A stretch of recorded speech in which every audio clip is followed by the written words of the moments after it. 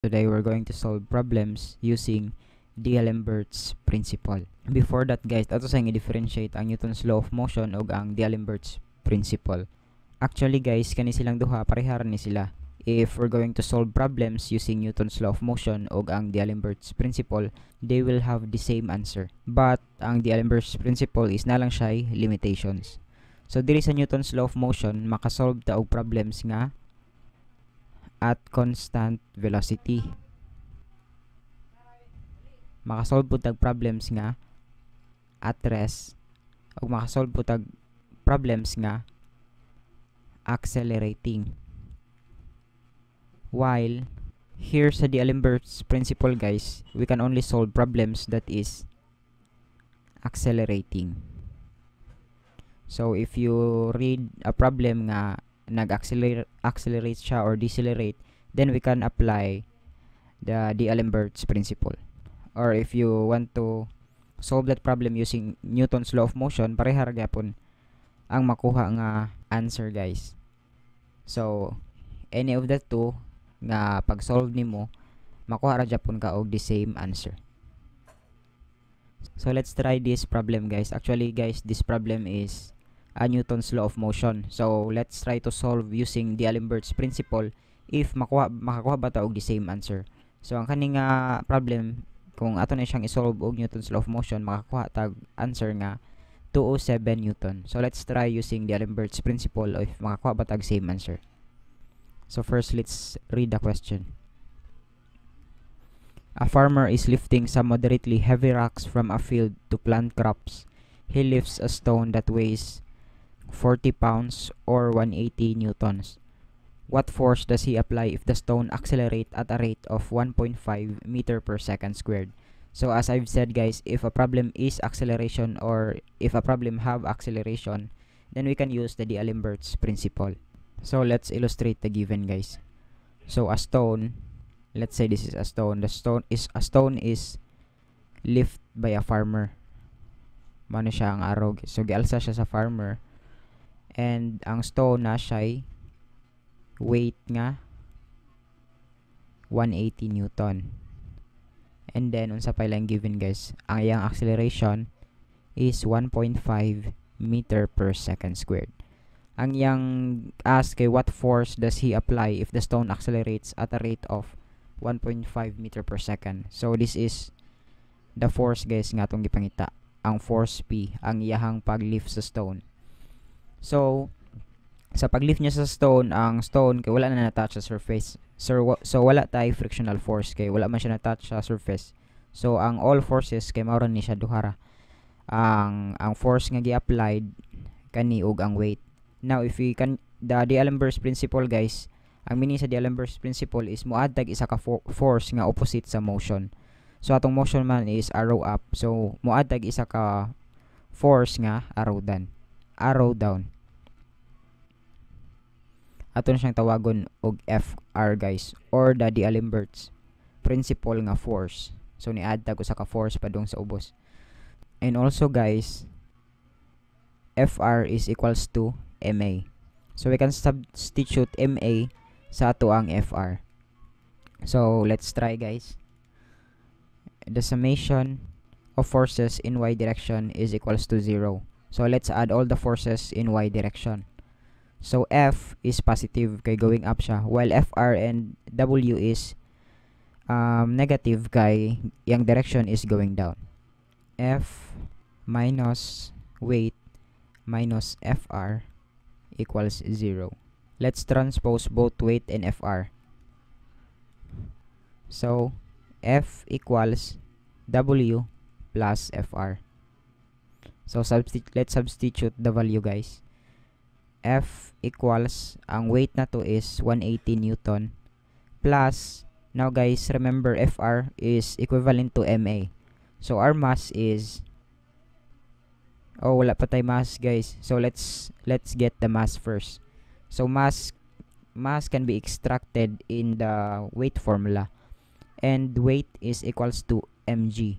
So, we have a weight of 180 newton equals to m and we have a gravitational acceleration that is 9.81 So, let's divide both side by 9.81 para makancel.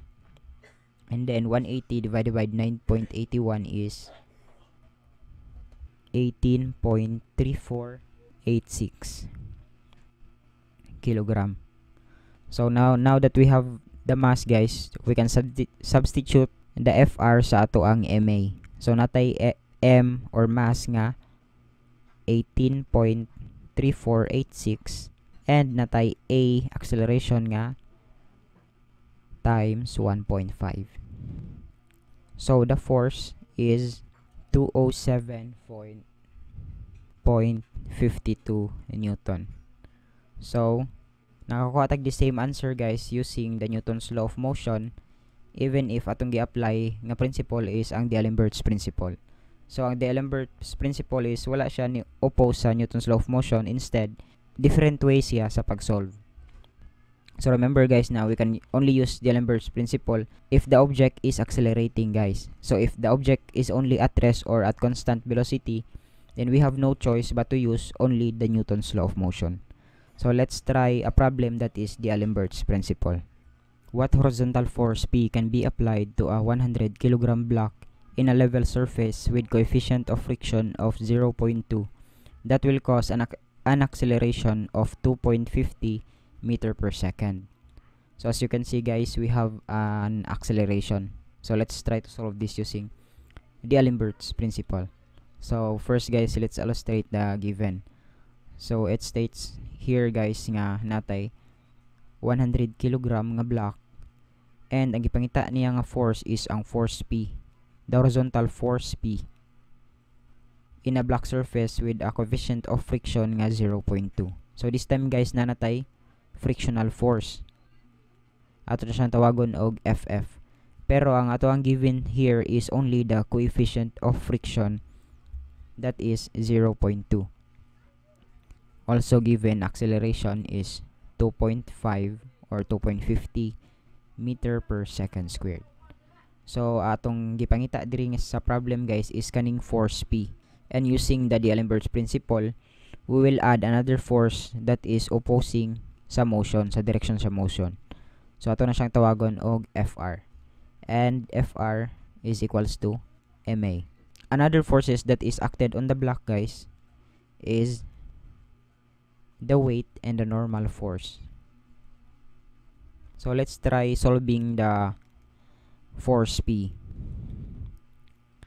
So the summation of forces in x direction is equals to 0. The force P is going to the right, so positive da. Natay frictional force nga going to the left, negative. And also our FR is negative. Equals 0. So let's transpose this ang kaning duha guys. So P is equals to frictional force plus FR. Now guys, ang FR na to is equals to MA. Pero ang atong frictional force is wala pa tay value, value sa frictional force. So we can use the formula for frictional force. Another formula nga coefficient of friction multiplied by the normal force. Now we already have the coefficient of friction but we don't have the normal force. So let's try solving the summation of forces in y direction equals 0. So Fn is going upward, so that's positive. And the weight is going downward, that's negative equals to 0. So let's transpose the weight. So we can arrive a formula that Fn is equals to weight. And in solving weight, that is mg. So weight is equals to 100 times 9.81 weight is 981 Newton. So, if Fn is equals to weight, then Fn is 981 Newton. Now, na natay Fn guys, we can solve for the frictional force. So, frictional force is equals to coefficient of friction 0.2 multiplied by the normal force 981 Newton. So, we can get the answer 196.2 Newton.